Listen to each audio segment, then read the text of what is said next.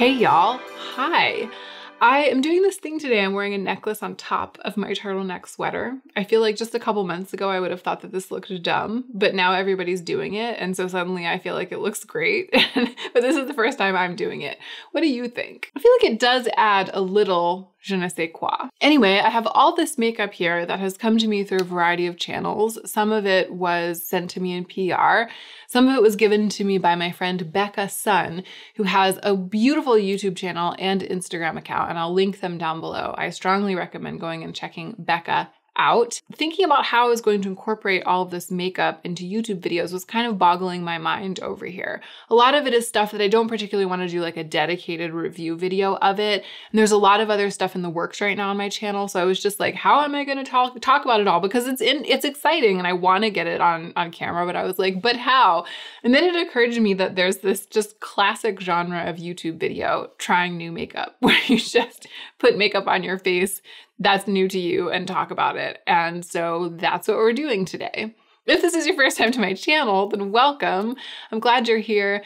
My name is Hannah. I really love beautiful things. I love makeup. It's gonna be a party today. But I feel like in the beauty community, sometimes it feels like loving makeup goes hand in hand with spending a ton of money on makeup and consequently acquiring like a whole bunch of makeup. I don't wanna overspend on makeup and I don't wanna encourage you guys to overspend on it either. So while I review things, while I do process a lot of PR on my channel and talk about whether I like it or not, I always try to apply a critical thinking lens so that I can give you the tea about the makeup, but without normalizing overspending or encouraging overspending. And if that sounds good to you, I hope that you'll subscribe. Now let's go ahead and get into the meat of the video. I can't tell whether my brows are okay today. I did the first part of this look, which was just uh, base, like skin prep base, and also totally snatching my hair back in this extremely slick situation, which I almost never do, but I had to do it today because of the state that my hair was in. Anyway, everything that you see up until now, I actually did this on camera in a Patreon video. It was like a, a chatty Patreon video where I talked about all the cats I've ever owned in my life and got myself ready to film this video. And because I was talking about all the cats I've ever owned in my life, I was not paying attention when I did my brows. I was like really focused on talking about all the cats and not very focused on my brows. So I struggled with them a little bit. And they're totally on show because my bangs are gone. But this is it. This is just how they're going to be.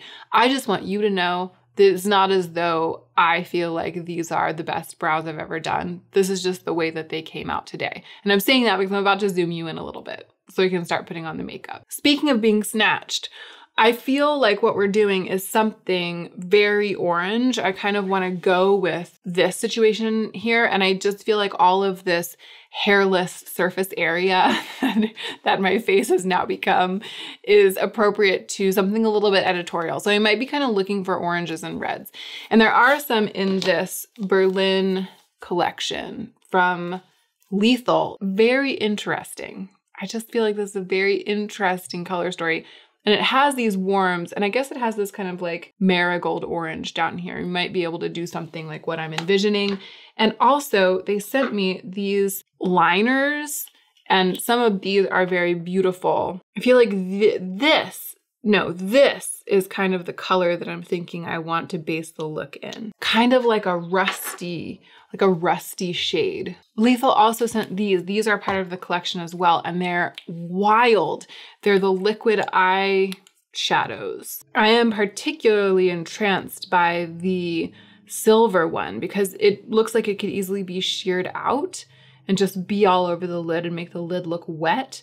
I'm very tempted to just put that all over my lid and call it a day, but I think I want to do more than that today. That is pretty much what I have on offer for eyes. So I'm to prime my eyes and then I'm just to start doing something Unfortunately, a lawnmower has just started up like really close to here. So I'm just gonna get going on the eyes and then once I'm partway through, I'll check in with you about what I decided to do and what I'm doing.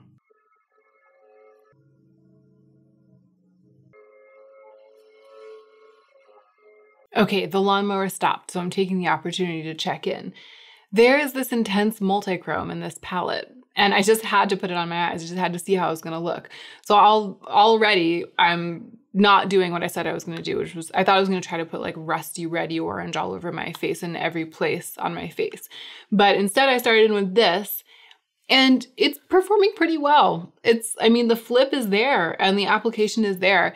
It's not as flaky and intense a multichrome as the one from Clionadh. And I have a Clionadh shade that looks almost exactly like this. I think it's Forge but it's definitely holding its own. I mean, it's definitely good. If you don't have any multichromes and you've always wanted one and you're drawn to this palette in other ways as well, it might be a way to like acquire your full, first multichromes that you can play with it.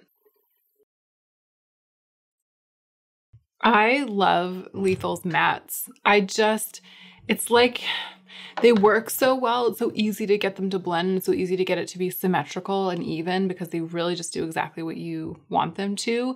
It's like it's made the use of mats make more sense to me because I usually don't like working with them. I find that most mats, I struggle with them. They're dusty. They're not as creamy as metallics. They don't blend as easily. They don't do what I want them to. And these, they just, they do do what I want them to. And so I feel like I'm able to get these more classic eye looks more easily. And so I end up doing stuff like this more.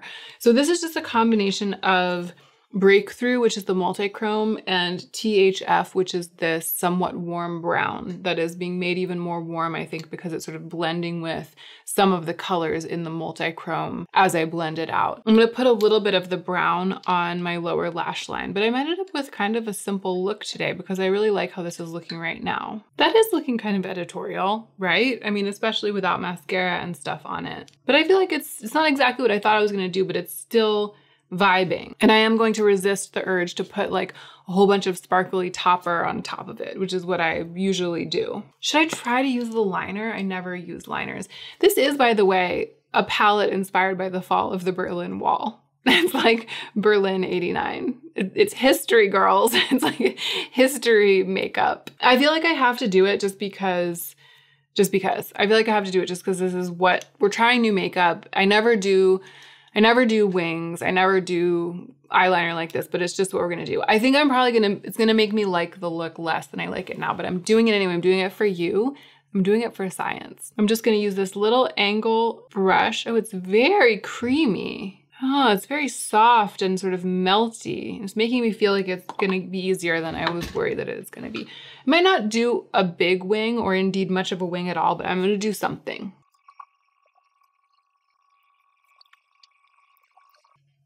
Who even am I right now?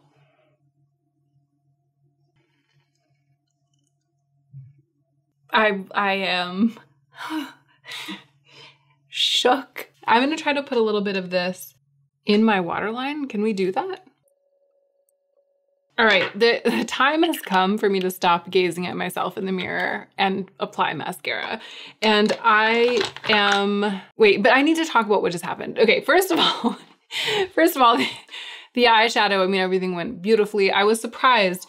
It, it's a little bit of, it's this kind of color story that's like, it has, there's something I do love about it, which is there's a lot of grunge, right? Like I love that it's got these black, it's got a black and a brown, which I really love. I like the tone of the black. I mean, I like the tone of the brown. It's got a gray, it's got this sort of grungy mustard. So there's, and it's got this shiny, uh, silvery shade in here. It's actually not that shiny. Oh, oh, it's like a it's like a grungy multi sort of sort of multi it's almost like a gray pink flip kind of thing. That's also very grungy. So it's got all this grungy stuff going on. But then it's also got primary colors. and I'm just not like a primary colors kind of bee over here. And the mix of the grungy and the primary colors isn't the effect that I love. But in practice, I really liked the way that it worked for me. Like there was an immediately a shadow in here that I wanted to put all over my lids. And then there was immediately a shadow that I wanted to blend it out with. And I really love the way that those two look together, the multichrome and the brown. And I have a feeling that that actually might continue to be true of this palette. I could see myself creating a lot of really great one, two, and three shadow looks with it, even though I don't particularly love the way all of the shadows look, all of them together in one palette. So it actually surprised me with how much I liked using it. And then the huge shock was this eyeliner. Like I this is like the third wing I've done in as many years, if not like 5 years. It was really really easy to do. I used this shade input. It was really, really easy to do, and I actually really love the result. Maybe I'm doing wings now. Maybe I'm doing wings when I do my makeup. Although it might be one of those things where I like the way that it looks in person, but then when I see the footage back, I'm like, this is why you should never do wings because they don't look good on your hooded eyes. But in this moment, I'm living, okay? So let's just let me have it for a little while. I don't have a new mascara to test, but even if I did, I would still be using the e.l.f. one because it's everything to me right now. I just really love it. I, I can't get over it. And yeah, you can see what it did to the look, like those gunky, spiky, spidery lashes. I'm like, am I Katie Jane Hughes? I'm like, am I Mariah Leonard?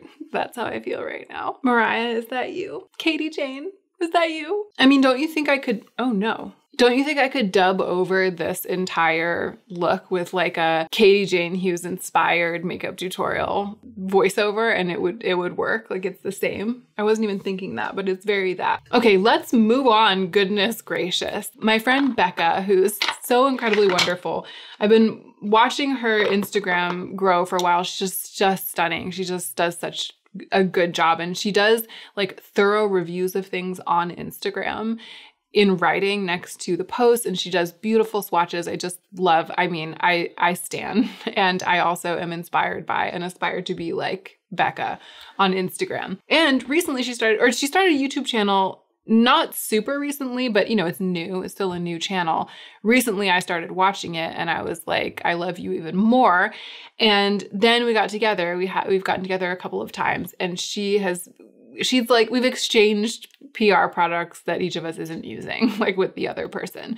So these are some products that she had that she gave to me the Rodial liquid blush drops. And I also have this Kjaer Weis blush in the shade, I think, Blossoming, which Kjaer Weis recently sent me, and I'm loving it so much. And Bekah also gave me this product. It's the Nudestix Nudies Glow All Over Face Highlight Color in Ice Ice Baby. And I actually don't know. Wait a second. Oh, I was confused about what this was. When I first opened this, I just took this off and I and it was a brush. And I thought that it was a liquid highlighter that you had to twist the cap and it would come up. So sitting there twisting it, nothing was coming up through the brush. And I was like, I'm just gonna wait and do this on camera and we can I can twist it up and we can see it emerge together. And just now I pulled off the other side and it's actually a cream highlight with a brush to blend it out out. So let's put the cream highlight on and see how it looks.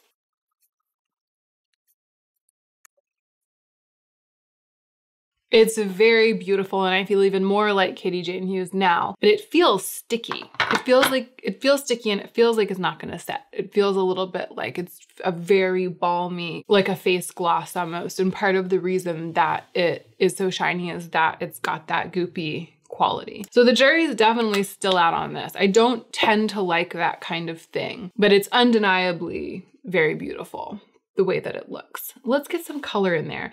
Here's what's going on with the Rodial drops. I'll put a little bit of one on my cheeks, uh, but I just wanna show you.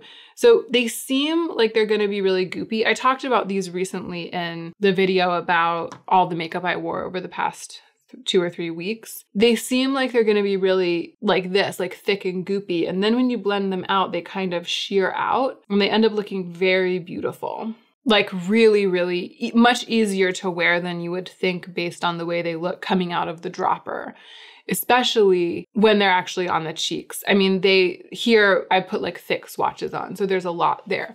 If I were to put one on, I think I would want to do the bronzy one, although I do really like this pinky one, but I think I would want to do the bronzy one because of what's going on on my eyes. So I'm going to do that. I'll put a little bit on just you know, because this is what we're doing this video, we're doing the most. And then let's see how we're feeling after I've put a little bit of this on. I'm putting it on the back of my hand first. Just look how it's like so thick and goopy. It really feels like it's going to be a lot. And then it's it's quite wearable. It's shocking.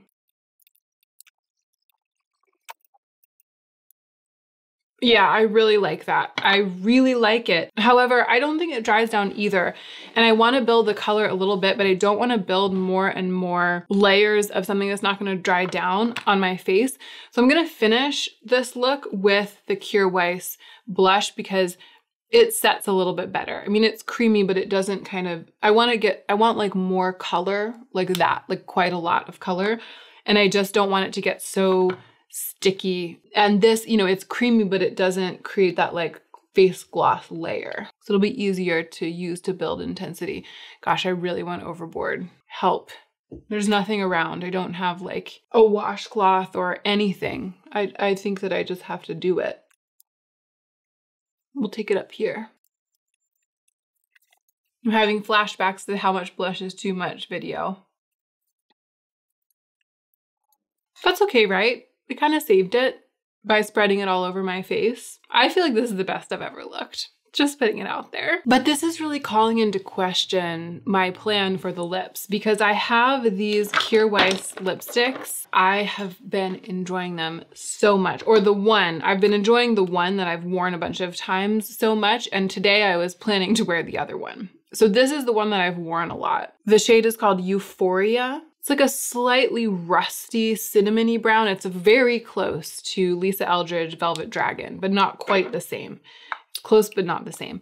And then this is the, the one that I haven't worn yet. This shade is called Confidence. And it's just, ew, hmm, that actually might be closer to Velvet Dragon. No, Velvet Dragon's got that like depth, that like velvety depth. It's like that bright, it, this looks to me like Tom Ford Wild Ginger. I wonder if it is, I'm gonna get Wild Ginger and swatch it because I bet it's close. Okay, it's not exactly the same. Wild ginger, confidence, euphoria. So wild ginger, it's just a little more orange, whereas confidence from Kjaer Weis is just a little bit more of that like pure pink kind of coming through, like just a little bit less rust, no rust. It's like wild ginger has a drop of rust in it and the Kjaer Weis blush, the Kjaer Weis lip has none. But they are very similar. And I think that we can say that this Weis blush is going to, in terms of color, it's going to occupy a position in my collection that has been left vacant by the retirement of Wild Ginger. Wild Ginger is my one piece of sentimental makeup that I've retained, even though it's so old that I don't use it anymore. And I haven't gone looking for a replacement, but it seems like I, I kind of have one. I just feel like it would be too much to wear this today. Because the other thing that I have is that I have all of these e.l.f.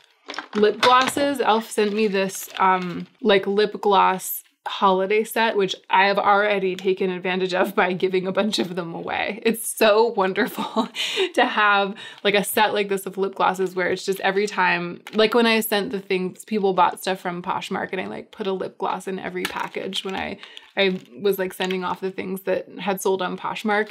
It's just so wonderful to be able to give as gifts, like little, and they're so good, these e.l.f. lip glosses. I feel like this look will probably look better with a gloss. And I haven't tried this one yet and I've really been wanting to try it. Let's try it. It's called Love Bite. If I'm unsatisfied, we'll go for the lipstick.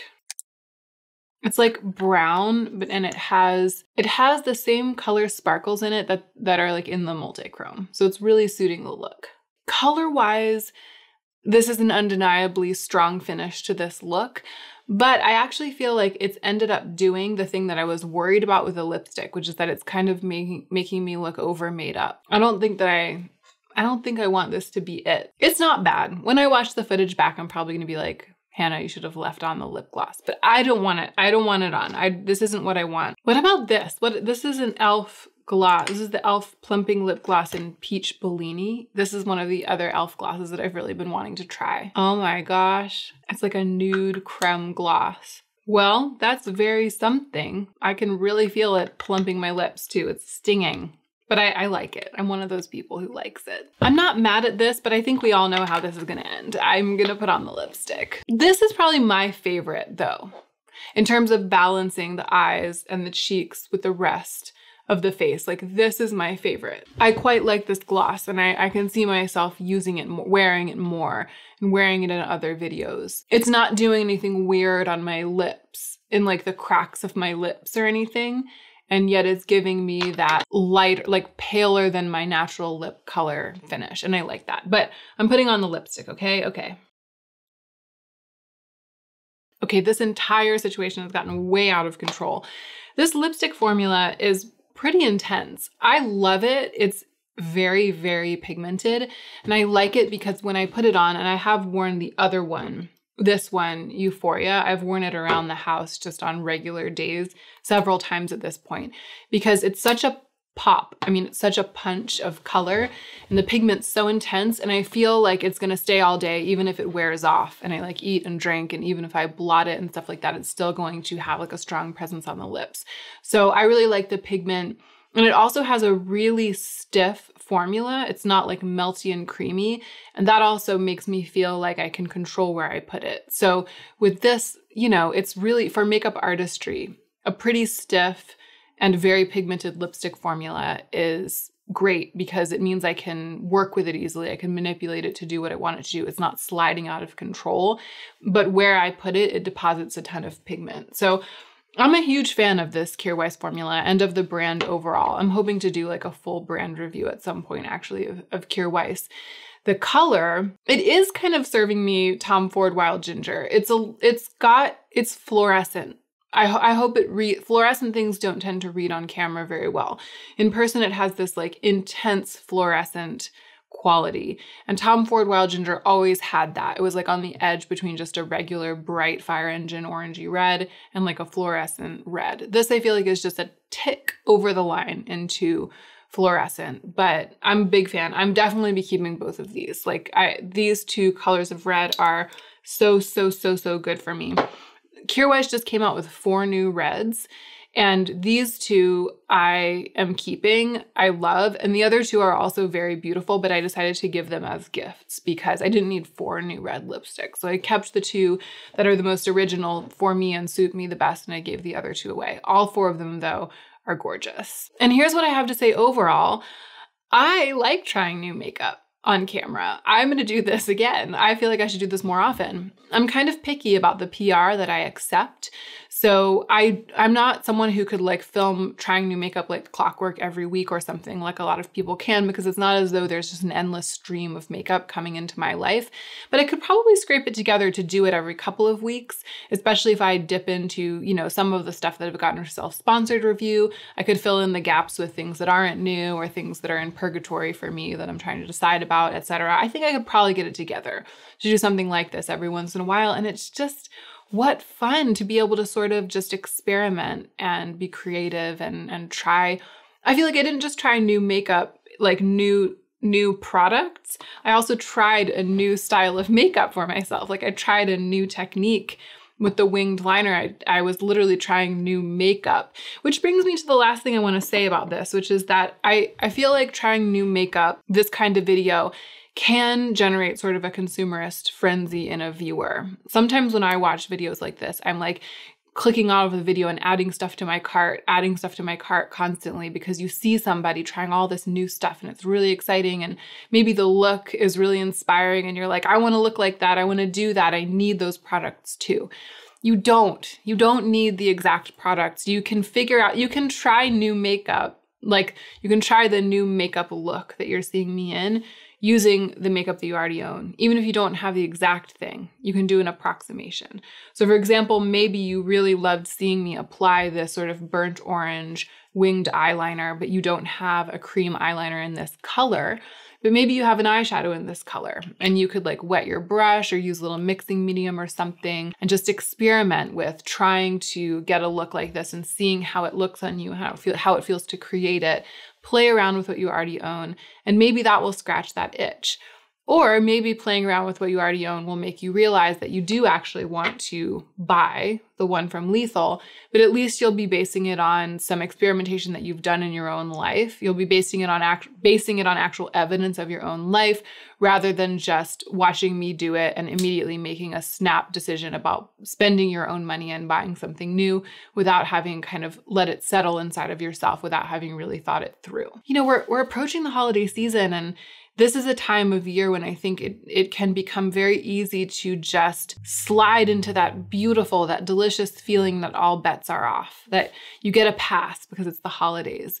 And I think that it it is okay to treat yourself a little bit. I mean, I usually Mm, the past couple years I've done pretty well, but I, I plan to, you know what I mean? Like maybe allow myself to buy one nice thing that I wouldn't otherwise buy, like during this season. I think that it's okay to do that a little bit, but I think that it's important to assess what you truly can afford to do in terms of indulging yourself and treating yourself in the holiday season and stop at that rather than starting all the way back here in October, early November, taking off the brakes and letting yourself buy absolutely everything that appeals to you. And if one of the things or some of the things that I showed today end up being one or some of the things that you end up buying, then that's great. I'm glad that I was able to show them to you. But it's not normal to have this much new makeup all at once. It's not normal for me. I'm just doing, I just have it and I'm just doing this because part of the work that I do is to do this kind of thing on YouTube and provide some entertainment for you. All right, I'm getting off my soapbox. I really appreciate you for being here. I, I, hope that this was fun, and I really hope that you are remembering to take extra good care of yourself today so that you can be the most effective version of yourself as you do your work in the world.